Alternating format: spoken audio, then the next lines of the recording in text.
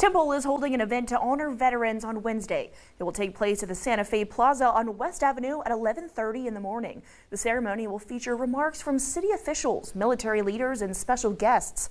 The Temple ISD Choir will perform a selection of songs as well. The sixth annual Veterans Salute will take place Wednesday at the Harker Heights Auditorium. The concert honoring veterans starts at 7 in the evening and will feature the concert bands from all of the high schools in Killeen, as well as the KISD All-Star Marching Band. The public is invited to attend both free events.